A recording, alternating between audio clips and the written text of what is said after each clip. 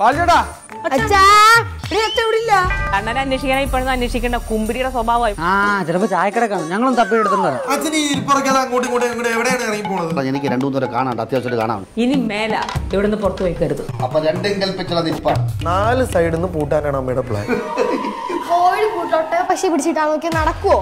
ആ അവിടെ അഞ്ചു മിനിറ്റ് വരാം. ഇങ്ങോട്ട് വാവച്ച എന്താടാ ഇത്?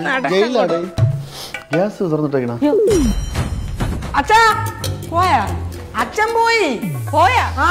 ഇതോടെ ഞാൻ കറക്കം അവസാനിപ്പിക്കും അങ്ങനെ ഉപ്പും മുളകും ഇന്ന് വൈകുന്നേരം ആറ് മണിക്ക് ഫ്ലവേഴ്സിൽ.